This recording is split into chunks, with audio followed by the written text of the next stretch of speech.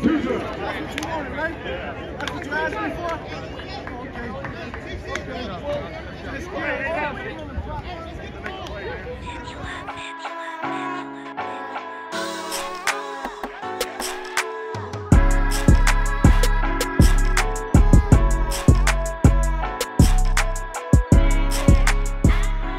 Good people, it's your boy Mr. Rome, Cowboys fan talk, right back, like I never left. What's up with y'all, man? I am out of the house, obviously, in my car, um, up in Richmond, Virginia, for one of my closest friends' weddings, and you know, what I'm saying, about to go get changed and everything like that. But I wanted to touch base with y'all. Sorry I didn't get a video to you yesterday.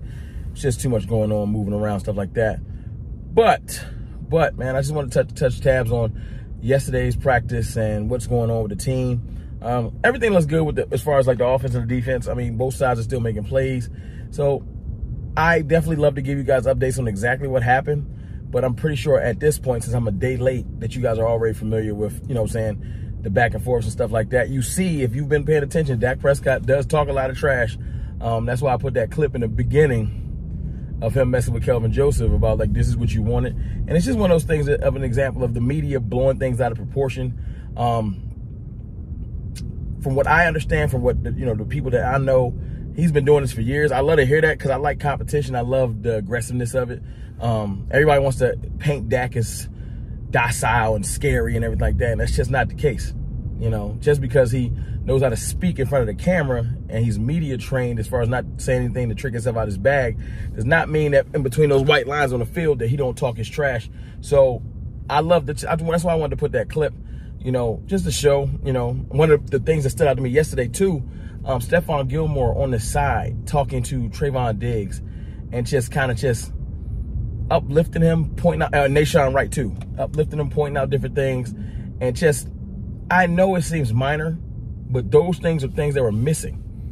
We didn't have that elder statesman that was that proven a defensive player of the year to drop knowledge on, you know, players before, or a, a veteran like a Brandin Cooks to do that before. So to visually see it, you know, different techniques, and, and I can see him pointing out different things like this. And Nahshon Wright is having a great camp. Um, I thought he might be on the bubble. I think Nahshon Wright's going to be here. Kelvin Joseph, who should have probably been over there, who you saw got exposed in the first clip of the video. I don't know, man. I don't know. I know he's been on a special teams kick, but he gonna have to do some more things, or he might not be on this team. I'm not trying to hate on him. I just the, the, writing is on the wall. What the tea leaves are saying that he got to get it together, or he might not be on this team. You know, but I love to see that from Stephon Gilmore, man. He he and Brandin Cooks have just been a godsend. I can't say it enough. That's why I always say it. Um, you know, so I'm excited about those things. Like I said, I seen on, on Twitter, you know, that it's it's it's practice stats gate, and everybody want to keep up with practice stats. You know, Jalen Hurts and Dak Prescott, and it's, it's silly because they're like Dak Prescott's up to four interceptions, but if you're gonna count the interceptions, you got to count the other thing. You know, and, and apparently people have been keeping tabs on Dak. They said he's up to about 40 touchdowns, which I know sounds ridiculous, but it's camp. You're going to score a lot because you're just running situational stuff. So if you throw 15 red zone touchdowns because you're just working in the red zone, why does that matter? When you just you didn't have to drive the field, you're just in the red zone. And if you have a hot day, you can throw 12 touchdowns in one day. Does that matter? No. So that's why counting practice stats is stupid. You know, I was joking on Twitter the other day. I said, how about we just start counting yards too? It don't matter. Like if we counting stuff for pra practice is, uh, David Helman said it best. He had an interview on 1035 The Fan Practice is where you work on execution and you work on new things to try to perfect them. It is not a place in my mind to be counting stats and trying to do exact things that you'll do. When are you going to practice the stuff that you haven't done before? And be able to make mistakes without it hurting you, like in a game. So I don't know, man. People just, I get it. Sometimes organizations want to project a certain image and they want to coddle and protect that image with everything instead of just letting things organically happen.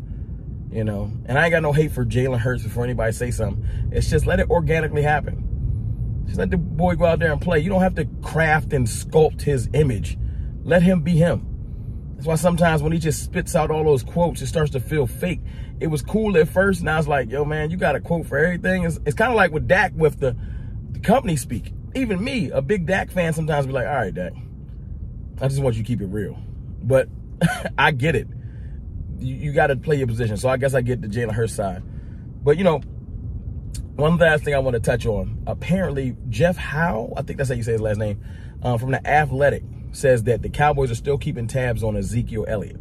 Now, I don't know if this is a, I don't know the in-depthness of the article. I just read the surface of it. Just the mere fact that they're keeping tabs on Ezekiel Elliott, does that make you feel like the young guys are not producing? Or did it let you feel that like Zeke still has connections with this team? I'll tell you how I feel. I wouldn't mind Zeke coming back, but I want Zeke to come back with a specific role. I do not want him to come back and take half the carries. Well, first of all, if he's balling, he's balling. So let me shut up there. He comes back and he's just balling, let him ball. But my thing is, I don't want him to come back and stifle Malik Davis. I don't want Malik Davis to get deflated because we signed Ezekiel Elliott. Because Malik Davis might be ready to pop. You know what I'm saying? Rico Dowdle's been around, and you got Rojo who got suspended, so he might be on the bubble. If you if you said, oh, I'm cutting Rojo and bringing in Zeke, because I, I, think we're gonna carry four four um, running backs. I don't think nobody be mad. I don't think nobody be mad. As long as Zeke comes in and just knows I'm, I'm more so a part of the team. This is Tony's running back. Excuse me. This is Tony's running back room. I'm here to just help out. So I'm not opposed to it but I want Zeke to come back under a specific role. I don't want him to affect what we got going on. I love the the chemistry of the team right now. Now, if the younger running backs are just trash, you, Ezekiel Elliott is a professional running back. He can get the hard yards, the tough yards. Now, he is not an explosive running back. It's a difference. Tony Pollard does that. Malik Davis can do that. Deuce Vaughn, who's been, I think he's been having a pretty good camp too, but I feel like he's more of a specialty player right now as opposed to the the second workhorse on your team. So I'm not opposed to Zeke. I just want to say that clearly. But I'm, I'm opposed to it if it's going to come in and upset the apple cart and change everything. You know, I want us to work on things and do things a certain way. But y'all let me know in the, in the comments how y'all feel about Zeke, how y'all feel about the team, um, just the veteran leadership that we have in place now, some of the new leaders. I just, I love the way this team is coming together. And, well, like I was just saying, would you be opposed to Zeke coming back? Yes or no? Let me know in the comments, yes or no. Yes, I would want Zeke to come back on a specific role. No, let's just move on. I'm curious to see your thoughts. I'm going to go change and get ready for this wedding. I love y'all. I'll see y'all soon.